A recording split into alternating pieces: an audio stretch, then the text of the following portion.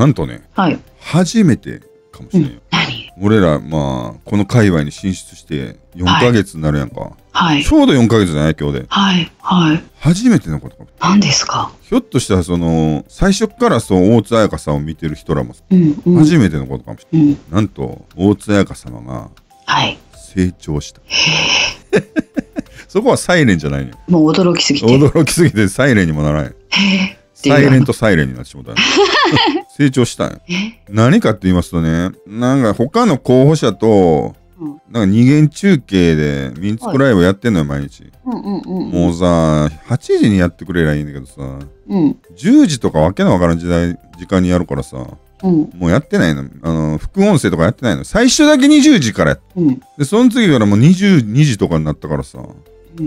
うおっせえと思ってもう追いかけてないんだけどうん。それ切り抜きが X で流れてたしさその一部分だけなんやけど、うん。こんなこと言ってんの、うんえーだからオムライス三上との対談形式なんだけど、うんうんうんうんそれでまあオムライスがやっぱこう街頭演説してるやんうん。そうするとやっぱりそのお年寄りうん。が多いやんやっぱり今の日本はさ、うん。うん。うん。でやっぱり声かけてくれんのってさうん。お年寄りやったりするわけじゃん、うん。うん。街頭演説やっててうん。まあ若い子とかはーって素通りでもさ、うんお年寄りは頑張ってねーとかさ、うん。うん。前も言ったけどあなたあなた一人なのかわいそうって言われたりさ 言われてさおそういう声優しい声かけてくれる人ってまあちょっと年配の方が多いやん、うん。うん。うん。それにちょっとさうん。何？ほだされたっていうのはこういう場合どう言ったらいいの？日本語的におさすがの大津様もさうん。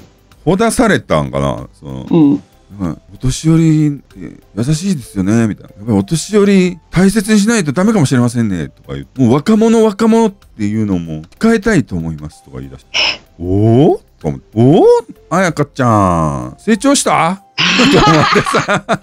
いやあのなんか若者若者言ってたけどなんか急に年寄りを大事にすることにしたのかよって手のひら返しすぎって言ってる人もいるけどまあそれもそうなんやけどよ。あのあやかちゃんがやで年寄り完全バカにしてた。わなんかじじいがどうのこうのとか80歳がどうのとかえてなんて議員の定年は65歳にすべきとか言ってるあのあやかちゃんがさお年寄り大事にしなければならないなと思いましたつって若者若者言ってるのもちょっとやめようかと思いますぐらい言ってるってことは成長じゃねこれ。唯一収穫じゃねこれはい。大津彩香様にとってさと思ってよそれだけなんやけどいや、でも本当にそうですよあね。なんかお大津さんの成長なんかもう成長しない人間かと思ってたやろてっきりさ、うん子供の時から変わってないのかな思ってたらさうん。邪悪度は増すわ邪悪度ばっかり成長してなあ そもそもさ話変わるけどさうん。あの子供が純真とかさうん。子供は天使みたいの言うのやめへんと思う前から言って 前なんか似たような動画撮ったよ。前にもそんな動画撮ったんやけどさなんか子供は純真まあ可愛いのは可愛いでさ可愛いかもしれんけどさ、まあ、純真もさ純真かもしれんけど悪やんね子供なんてさあうん、わかります。う。ん。なんかもう自分のやりたいことだけうぎゃー言ってさもうやりたい放題にやってるやんけ子供なんてさ。うん。どこがどこが善ではないよ、まあ、純真かもしれんけどそれは自分の欲望にむ忠実にもうむ欲望をむき出しに暴れまくってるだけでさ暴れたい時に暴れてさなあ、うんそんな感じじゃない？泣きたい時に泣いてさ、うん。まあ、泣くのはええとしてさなんかダダこねる時はダダこねるしな。悪やん。えあれ？師匠、はい。子供の話ですよね。うん。今、当主様の話にいやだから聞こえなかった。だからそれがなんだ子供はな俺は子供が何が何が無垢な存在かっていうことを常日頃言ってるわ。子供なんて悪の塊やないかと俺は思ってんだけどな。自分のやりたいようにやりやがってほんまにもう悪悪全開やんけでも悪全開やけどそのさうん。こう社会の中ね、まあ、学校、うんう小学校行き中学校行き高校行きうんうん大学行き、就職したりしてるうちに社会のルールを学んでさ、うん。その悪を抑えられるようになっていくわけやんうん。それが普通の人間やんうん。でもさ大津様はさ「私は普通の人間です」とか討論会で言ってたけどどこがやねんっつってお前子供の時の悪丸出しのまんまやろお前 悪、ま、丸出しのまんま31歳まで来てるやないかお前。お前どう見ても大人子供やないかいみたいなさ。本当ななんだっけ。なんですっけ。見た目は。見た目は大人。頭脳は子供。ダメじゃん。逆子なんな。言われる。体は子子供。頭脳は大人じゃなくてさ。逆子なんです。逆子なのさ大座彩香様がさなんと成長したんじゃない？お年寄りなん年寄りなんてもうこんなもんねとかもうそんなもん邪魔なのよみたいな世の中にとって邪魔なのよ的なことを言ってたやん。言実質言ってるよね、うんうん。そんなもん。言ってないとは言わさへんで。言ってなかったとは言わさへんでほんま。そのなんか年若者若ければそれだけでいいんだみたいなこと言ってたけどさ成長したね。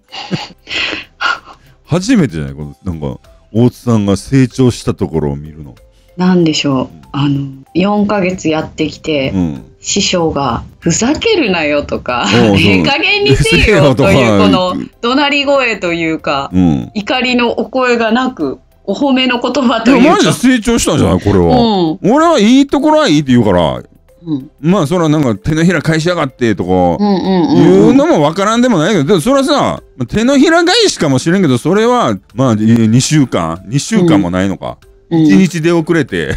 1日出遅れて土出ししてさもうお年寄りにさ声かけてもらったりしてさあやっぱお年寄りって大事にしなあかんやなって大津さんなりに感じたわけやんけ。うん。もうそれはいい手のひら返しやん。うん。言ってみたら。なあうんほんまに成長すんや思ってじゃあそのまんま成長していただいて、うん。お金が返ってくるといいなと思うんですけどどう思います？ないやろな。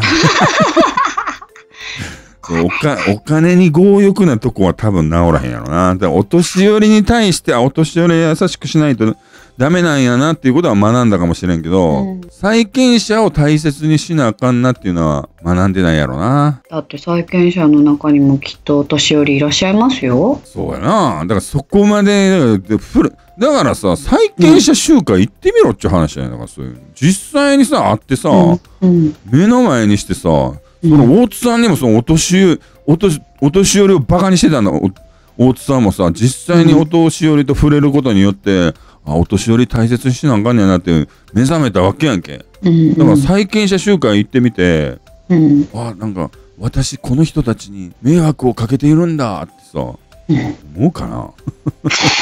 そう思うかもしれないとは言えなかったんですね 師匠。